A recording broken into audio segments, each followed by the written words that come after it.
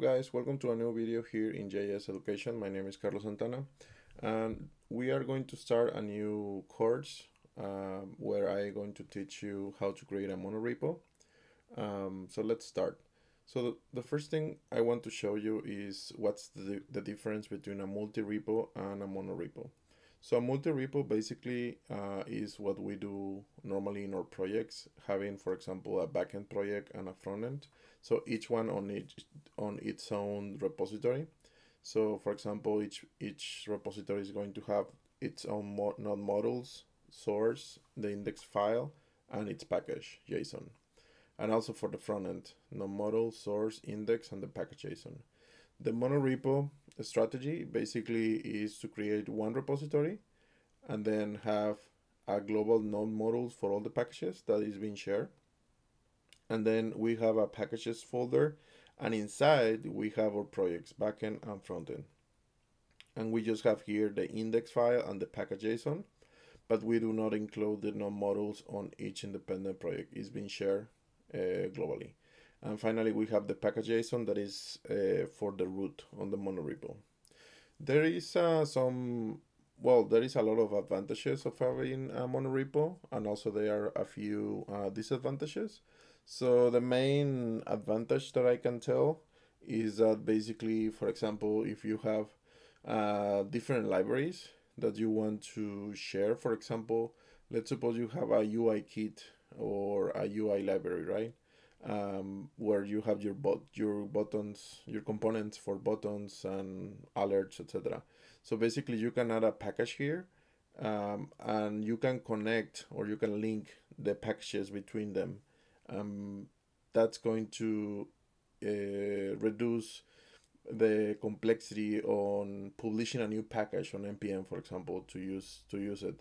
If you have a new package here you just basically build that package and automatically is going to be ready to use in the package that you are consuming that one. So that's the biggest advantage in my opinion. There are some disadvantage if you, for example, try to do multi-sites. That means multiple sites in one repository.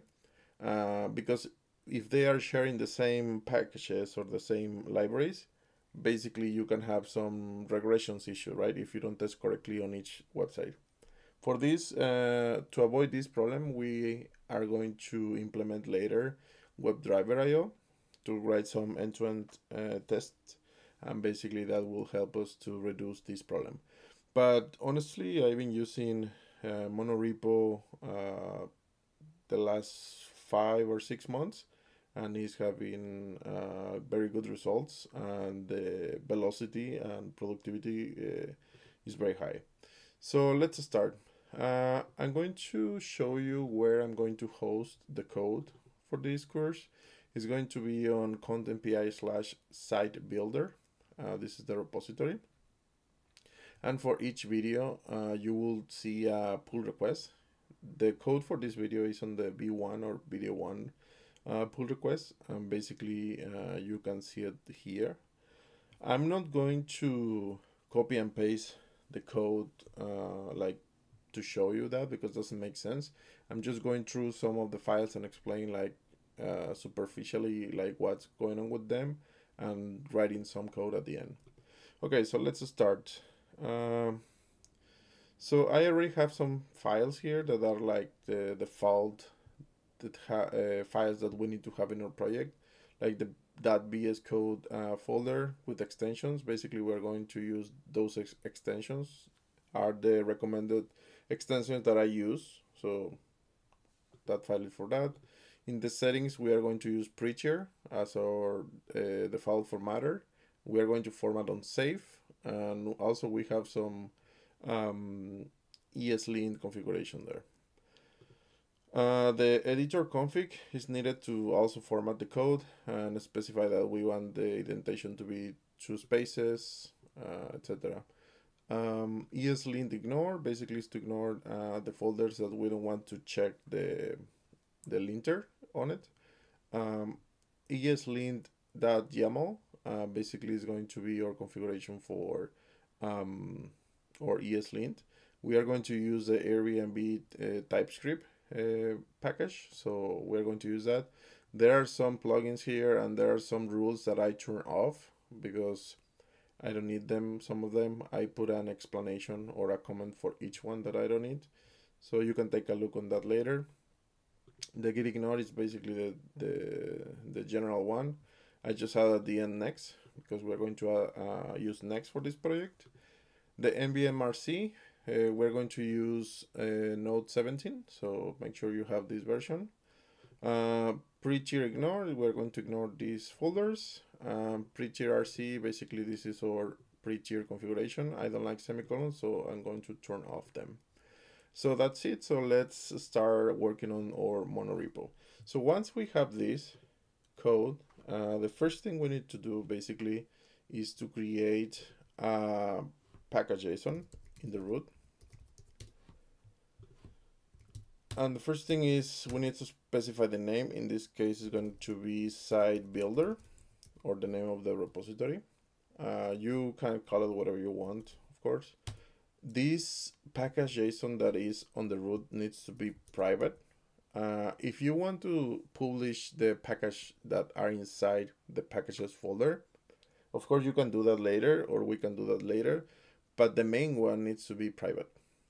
And then on npm i think from npm 7 or 8 i don't remember exactly they introduced the workspaces so basically the workspaces is going to tell npm that we are going to work with some uh, with some projects that are, are going to be handled as a packages so for this normally we want to create a packages folder slash for example, if we want to add the backend, we can do backend or packages slash frontend.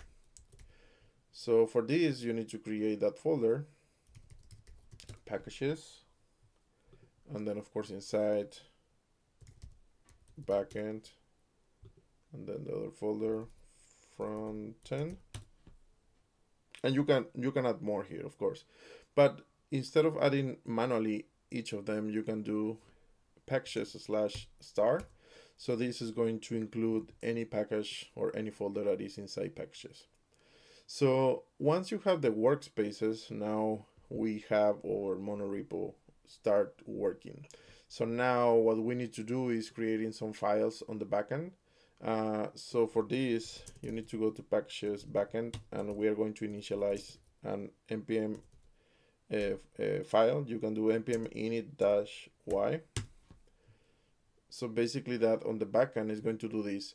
So if you see the name that is given to this project is going to be backend directly because this is the name of the folder.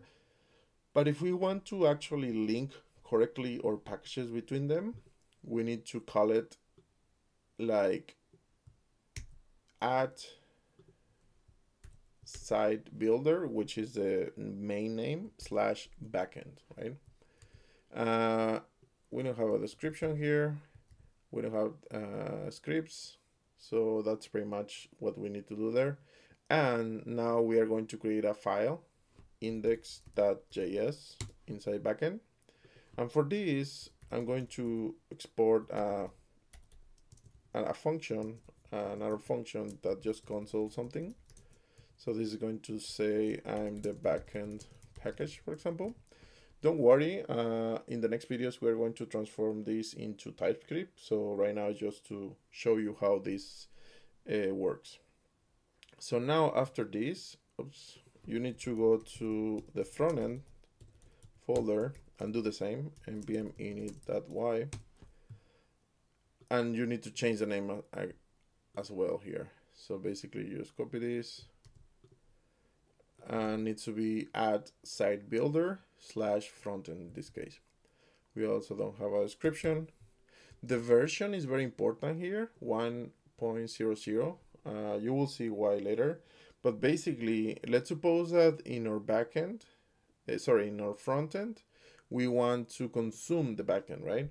So for this, we need to add dependencies and we need to add our dependencies or dependency web, uh, sorry, site uh, builder slash backend. And which version we are going to use? 1.0.0. If this version does not match the version that we have on the backend it's not going to work.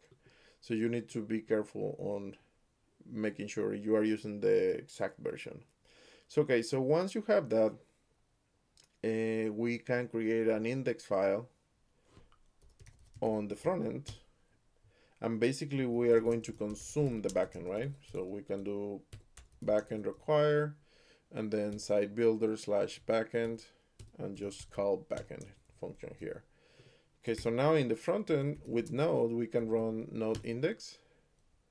Oh, okay. So before we do that, of course, we need to install the package in our front end, right? So basically, you know, you need to do npm install on the front end and see what's going on. So if you see the node modules is being created on the root level and is is including the site builder and then the two packages backend and frontend. And if you go to backend and frontend inside, you see that the node modules is not being created inside frontend, is on the top level. So that's how the monorepo works. So now that you have that installed, now you can run the index uh, let's see why it's not a function. Oh, it's module dot exports. Sorry, my bad. Okay. And also, if you notice, right now I made a change without build anything, and it's it's working automatically. So basically, if we make any change here, and we run it again, it's going to update that right away. So that's pretty cool. Um, so I don't know, like for this video is going to be everything. Uh, I hope you like it, and if you like, uh, make sure you you do a like on the video and also you subscribe to this channel. And of course, for, for the next videos, uh, we're going to learn how to move this to, to TypeScript and also how to create uh, more packages uh, like utils packages, how to create a webpack configuration for all the packages, uh, just one configuration for all of them. So it's going to be pretty cool, I guess. Uh, so that's it. Thank you so much for your attention and see you in the next video. Bye.